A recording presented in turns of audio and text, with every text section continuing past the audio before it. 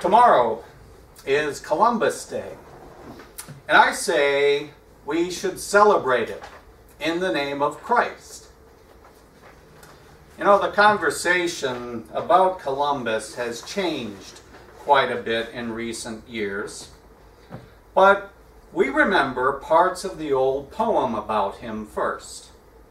It goes like this.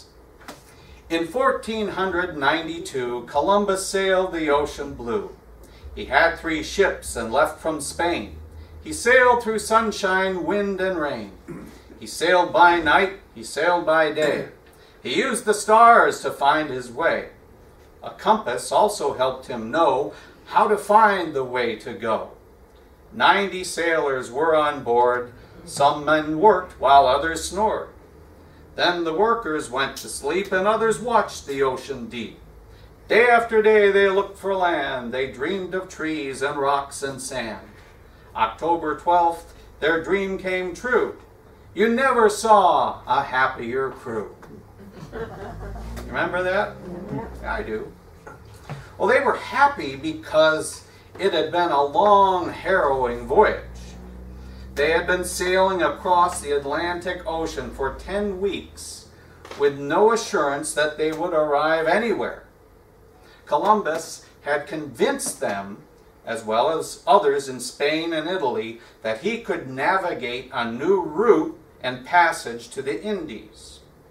And he did indeed understand that the earth was round, not flat.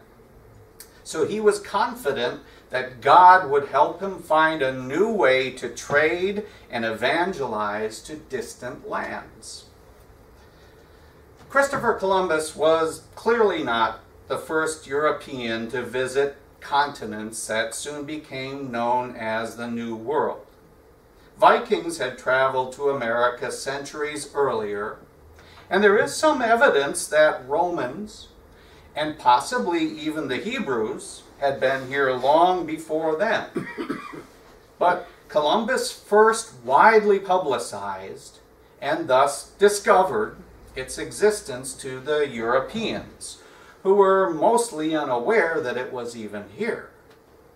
And there were, of course, other people living in this land at the time, whom the adventuring Europeans eventually evangelized and subdued and exploited so we hear today other opinions and criticisms of the significance of the Columbus explorations. But you know, when studying recorded history of Western civilization, one cannot not notice the landing of Christopher Columbus in 1492. Anyone writing or reading world history has to regard the event among the four or five most noticeable and notable in recorded history, whether one considers the exploits to be honorable or not. And those of us who pay special attention to the branch of world history that deals with the story of Christianity see Columbus as a monumental figure. By bringing in Christ, his church, and the culture called Christianity to a land of people who had not yet heard of our Savior, he did indeed bring and begin to change the face and the future of the world in which we live. And whether one sees Christopher Columbus as a victor for Christ or a villain of European imperial expansion and exploitation, his enterprise cannot be presented without reference to his faith. And despite differing opinions on his motivations, it is undisputable that Columbus undertook his first voyage facing the prospect of great danger, and that he displayed great faith and great courage. You see, the professional opinion of that day not only assured him that his proposed voyage and endeavor was impossible, but it also warned him that dragons and death awaited him beyond the charted waters. And with such advice coming from the intellectual leaders of his day, his decision to embark on this unprecedented journey must have been difficult. So, why did he set out? Well, Columbus himself answered that question in his own writings, saying, At this time I have seen and put in study to look into all the scriptures, cosmography, histories, chronicles, and philosophy, and other arts, which our Lord opened to my understanding. I could sense his hand upon me so that it became clear to me that it was feasible to navigate from here to the Indies. And he unlocked within me the determination to execute the idea. And I came to your highnesses with this ardor.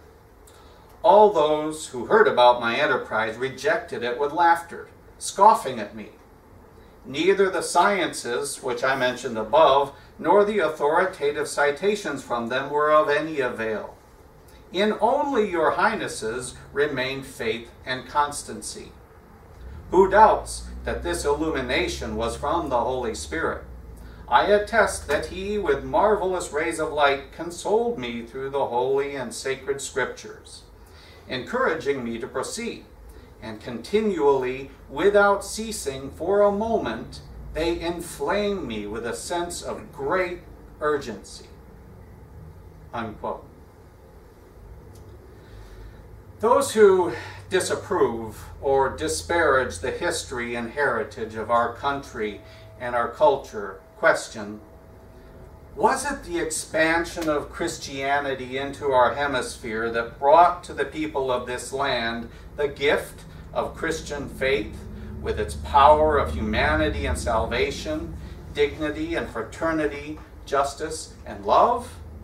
Or was it the beginning of invasion, genocide, slavery, ecocide, and exploitation. It is especially because of Columbus's Christian convictions and motivations that he has become a villain today for most modern educators and writers who regularly now attack and condemn him.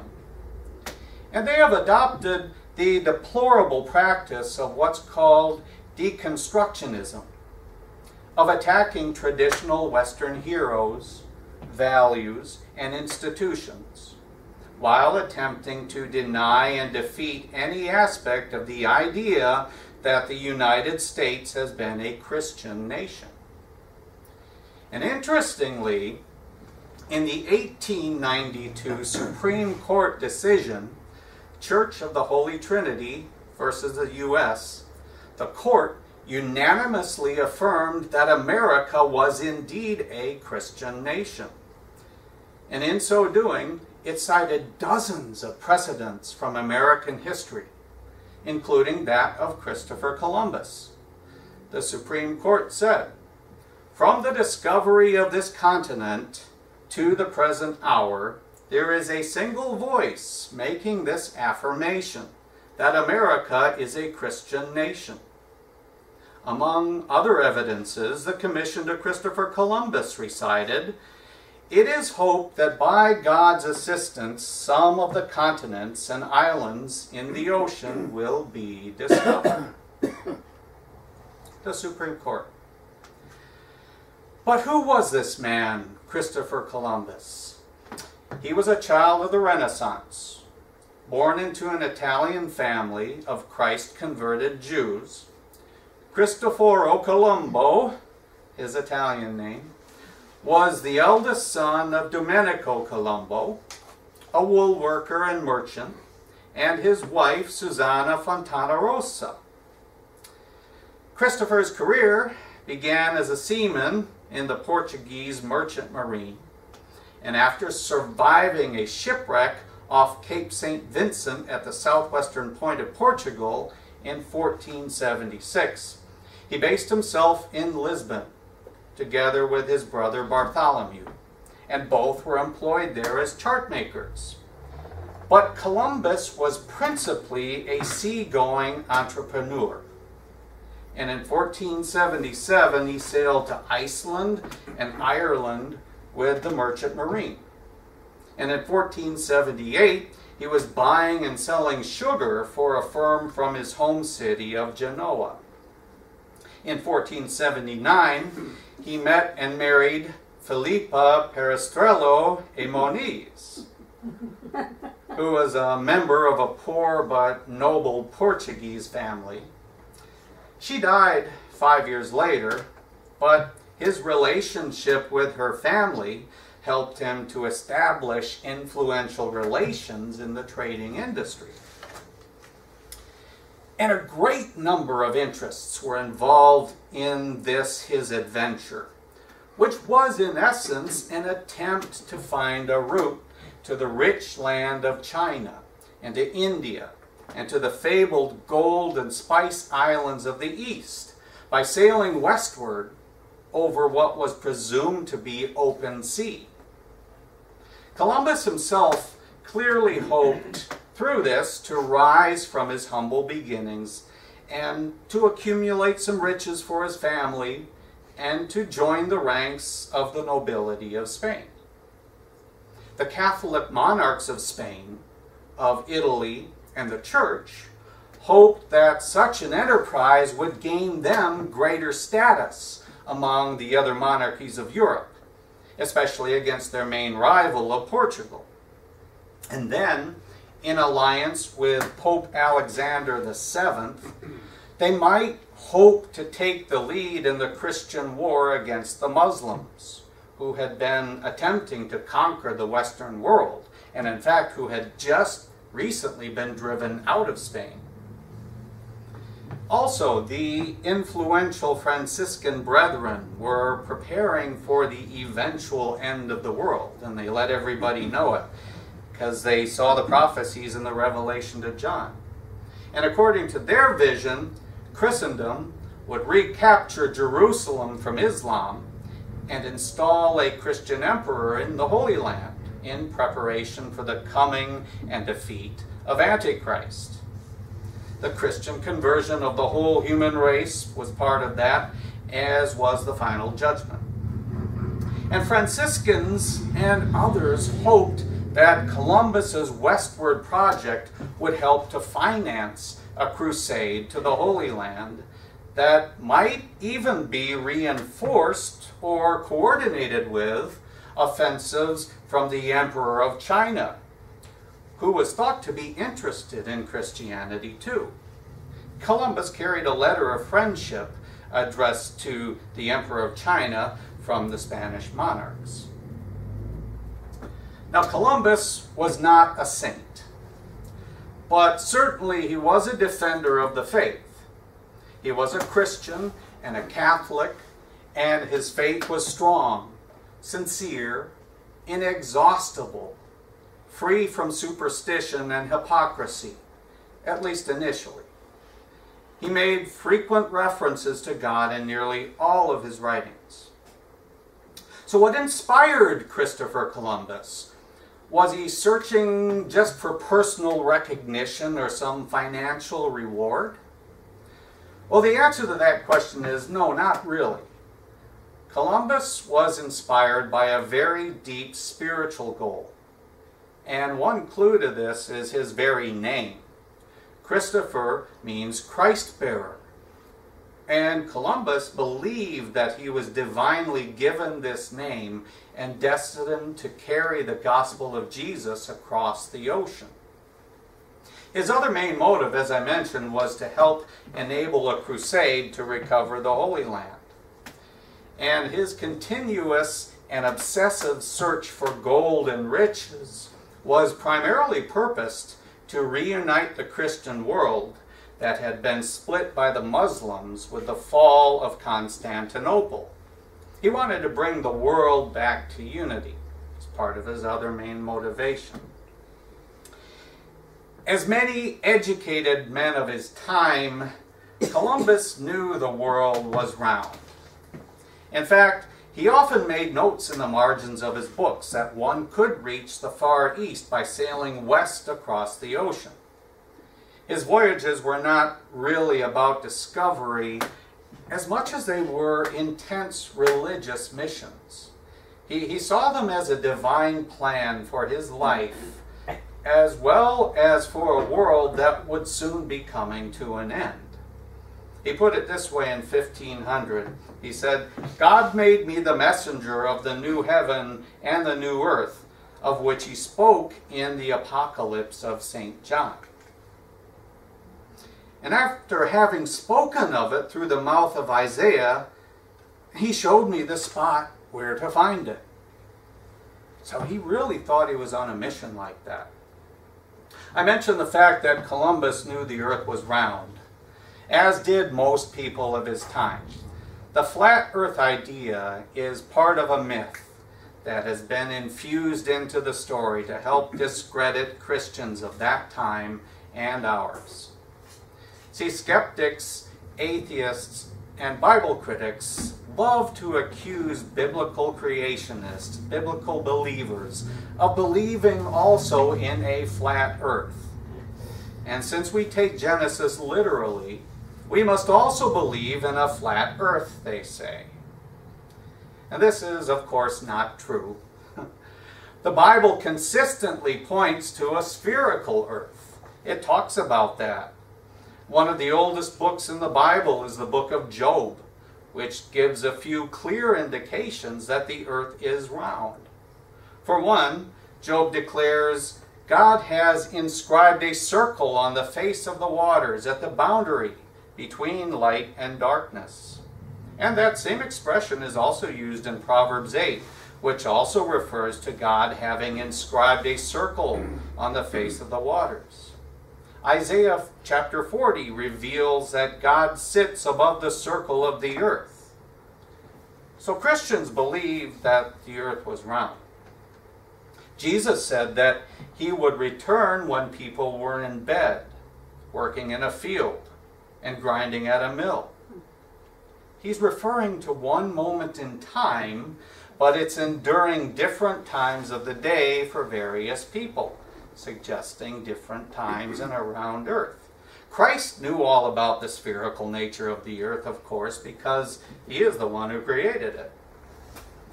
Now, I remember being taught in school that people used to believe the earth was flat. They told me that the ancients believed that there were people on the other side of the earth, known as antipodes. And they thought that these people walked upside down. I, read that and I remembered hearing that. It was, it, I used to think about it as a funny picture. Uh, Christopher Columbus, they said, had a difficult time finding a crew because everyone was afraid that he would sail and fall off the edge of the earth because it was just flat like that. And that's what I was taught in our public government school system. And this story is still being taught today, even in Christian schools because nowadays this story is accepted as historical, but it's just simply not true. See, as early as the 3rd century BC, men knew that the earth was round. We read some of the references from the Bible, but it was also based on scientific observations made by a man called Eratosthenes. He in Egypt observed the length of shadow cast in Alexandria, and also that no shadow was cast uh, in another part of the country in Aswan on the summer solstice. And so he was able to measure and figure that the earth must be round, and he came to within uh, 1% of actually figuring the size of the earth. Plato Aristotle, other Greek intellectuals also taught that the earth was round as well. But did the church ignore this information and teach a flat earth? Absolutely not. A few figures throughout Christian history made statements that some have interpreted as teaching a flat earth, but most have been misinterpreted, and the church did not teach a flat earth during the time of Columbus. These explorers did not believe they were going to fall off the edge of the earth. Columbus had difficulty obtaining a crew because he was Italian, trying to convince Spaniards to sail with him, and because people doubted whether or not one could bring enough supplies and food on the ships for such a long journey. The European people of the time knew that a person could reach the east by sailing west, but they also knew it was a tremendously long distance and they did not know about the American continents there. And so they thought that Columbus would need to sail all the way from Spain to China nonstop. Columbus convinced the authorities that the distance would not be as far as they thought by using different figures than what they had used and had been established for centuries. But you know, ironically, those authorities were right about the distance, and Columbus pretty much lucked out because he did have enough supplies to reach the Bahamas, which is where they landed. And the flat earth misinformation uh, that we talked about mostly began uh, in 1828 with Washington Irving's fictional biography of Christopher Columbus that talked about that. This book promoted the lie that the ignorant medieval Christian folks thought that the earth was flat, and Columbus had to convince them otherwise. And most historians now recognize that the church did not teach a flat earth. Yet as I said, the lie is still taught in numerous books and schools, much like the disproven evidences for evolutionism. And this was interesting. Even the late Stephen Jay Gould, who was a leading evolutionist, came to the Christians' defense when he said, For the myth itself only makes sense under a prejudicial view of Western history as an era of darkness between lighted beacons of classical learning and Renaissance revival, while the 19th century invention of the flat earth, as we shall see, occurred to support another dubious and harmful separation wedded to another legend of historical progress, the supposed warfare between science and religion. He was honest about that. So the church did not teach a flat earth. The Bible does not teach a flat earth. Apparently, people like Irving and John W. Draper, another guy, invented the flat earth myth in an effort to attack biblical Christianity back then. And once again, it has been shown that the Bible is not at odds with modern science. Rather, modern science confirms biblical teaching. In my message uh, a few weeks ago about the blood moons, I, I, mentioned that the tetrad of four lunar eclipses on high holy days of the Bible in 1492 coincided with the Spanish Inquisition and the Jewish expulsion from Spain and that Columbus was also involved with helping the Jews. Well, the day after that expulsion of the Jews, August 3rd, 1492, Christopher Columbus left on his famed voyage of discovery. And his diary begins, In the same month in which their majesties issued the edict that all Jews should be driven out of the kingdom and its territories, they gave me the order to undertake with sufficient men my expedition of discovery of the Indies. And a very good case can be made that Columbus was of Jewish ancestry. And there's much evidence for that, but I'll not address that now for sake of time. But there's no question that Columbus's voyage to America was also spiritually linked to the Jewish expulsion and the Jewish people and their plight. And just as one of the greatest Jewish communities of medieval Europe is being destroyed, God was opening up the doors of what would eventually become their greatest refuge for Jews in history America. This is another tremendous pattern that we see in history God creating the cure before the disease. Incidentally, Columbus's voyage was not financed by Isabella selling her jewels, as is often, often stated. The, the major financiers were two court officials, both Jewish converts. Uh, Louis de Santangel, Chancellor of the Royal Household, and Gabriel Sanchez, Treasurer of Aragon. And the first letter Columbus sent back from the New World was not to Ferdinand and Isabella, but to Santangel and Sanchez, thanking them for their support and telling them what he found. And now there are basically two competing narratives about Christopher Columbus. As we observe another Columbus Day, along with the annual arguments over him, I'd like to suggest a third way of looking at the man.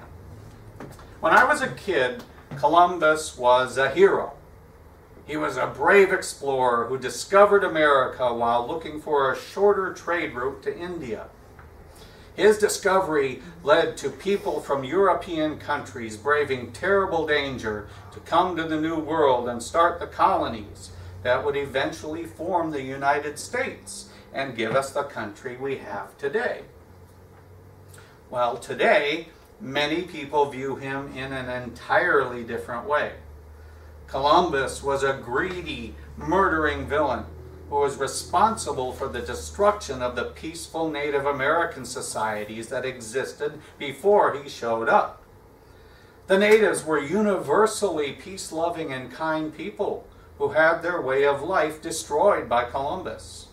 If it hadn't been for Columbus, the natives would have continued living in peace and harmony while the Europeans fought among themselves elsewhere. Well, neither view is especially honest or nuanced. And again, I'd just like to briefly suggest another way of remembering Christopher Columbus.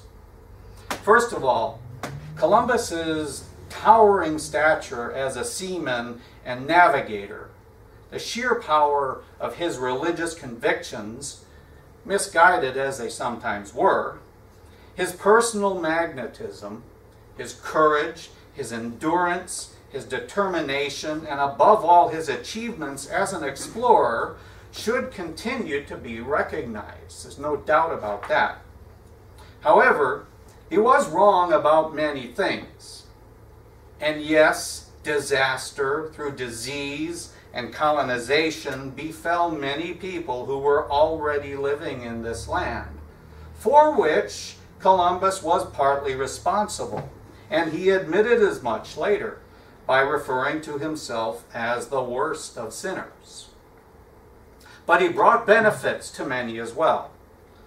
Not all people on this continent were gentle, peace loving, and living in harmony with nature. Some practiced cannibalism.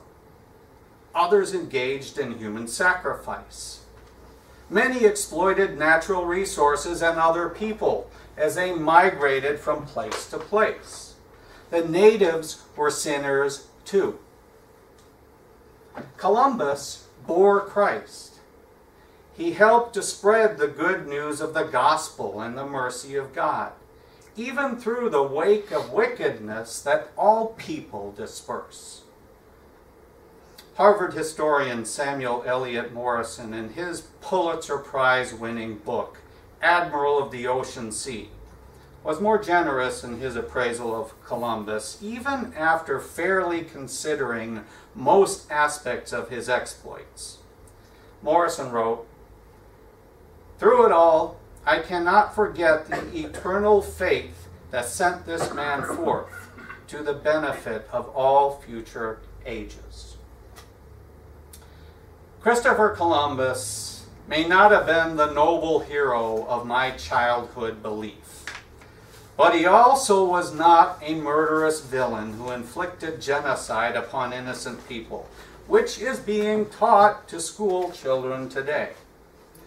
Columbus sought the Christian conversion of the natives that he encountered.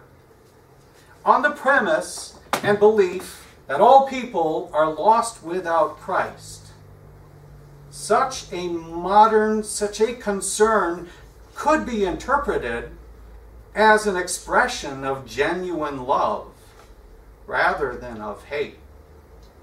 And I say, celebrate Columbus Day in the name of Christ. Amen. Amen.